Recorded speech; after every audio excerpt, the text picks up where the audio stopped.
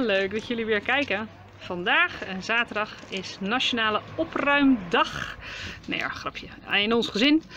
Uh, weggeefdag, wegbrengdag, tweedehands naar de stort. De garage wordt langzaam maar zeker steeds leger.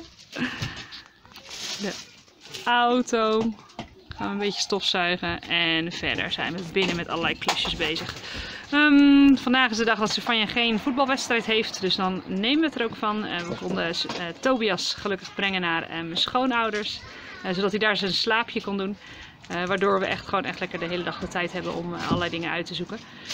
Um, ja, het hoort bij de voorbereiding. Er gaan een aantal mensen in ons huis zijn als wij in Zuid-Afrika zijn. Dus we willen ons huis een beetje aan kant. ik ben ondertussen kleren aan het wassen en uitzoeken. En de meiden zijn zich heerlijk aan het vermaken. Ik weet niet precies met wat. Uh, dus vandaag zijn we vooral uh, met onze gedachten bezig uh, om alles in de garage en in huis een beetje op orde te krijgen. Ja, vanochtend zijn we naar de ontmoetingskerk geweest voor de lentefair. En onze meiden zijn mooi gesminkt. En verder zijn ze lekker aan het spelen vandaag. En want mama zijn een beetje het huis aan het opruimen en de garage. Zijn we verder nog aan het voorbereiden voor onze reis in Zuid-Afrika? Ja, ja. En hoe dan? In onze tuin. In onze tuin? Wat doen we in onze tuin dan? Uh, vegen en schoonmaken. Wauw, ze doen vegen en schoonmaken. Ze zijn helemaal niet aan het spelen. Ze zijn hard aan het werk. En mee. Verder, wat doen we nog meer aan voorbereidingen waar je aan kan denken? Um... Is het binnen netjes in huis? Mm, nee. Nee. Hoezo niet? Gewoon. We zijn allemaal dingen aan het uitzoeken, hè? Allemaal kleding. Onze winterkleding ligt klaar voor Zuid-Afrika. Want Ja. we hoorden vorige week dat het heel koud gaat zijn. daar. Ja. Precies, dus we zijn eigenlijk een beetje eh, aan het robbelen. Ja. En jullie dan robbelen een beetje mee met ons, hè? Ja. Ja. Ja, zo zijn we lekker bezig buiten vandaag. Vooral omdat het zo mooi weer is. Uh, maar er zijn nog heel veel andere dingen waar we mee bezig zijn en die gewoon doorlopen. Uh, schoolreisjes die gaan plaatsvinden komende week. Maar ook Stefania's kinderfeestje mochten we afgelopen woensdag vieren. Peter had het ontzettend leuk voorbereid. En de negen jongens hebben uh, ja, heel erg hun best gedaan. Met allerlei spelletjes, maar ook het maken van een pijl en boog.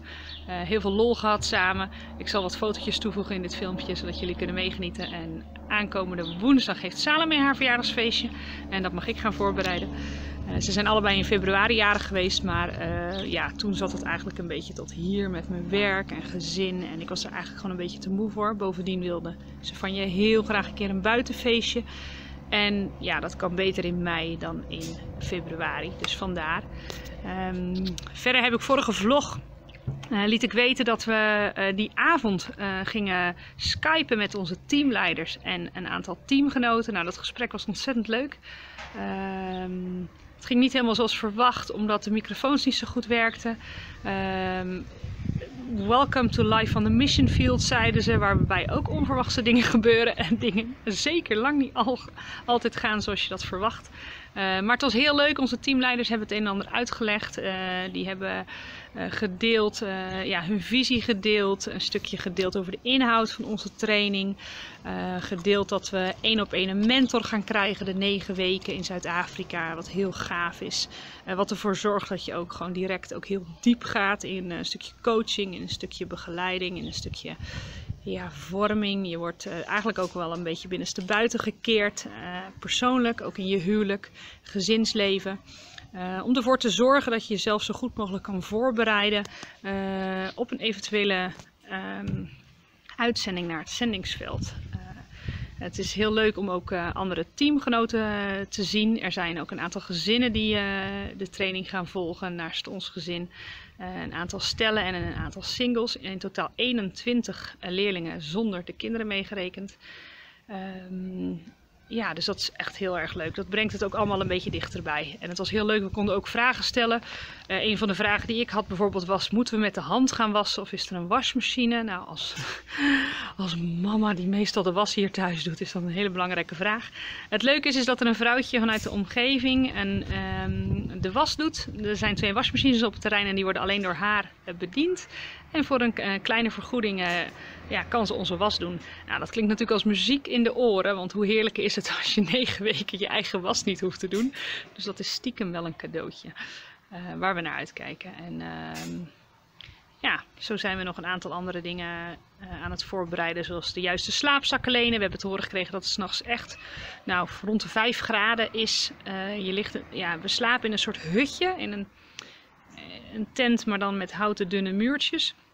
En dus het koelt ook binnen ontzettend af. Dus we hebben gewoon goede winterslaapzakken nodig.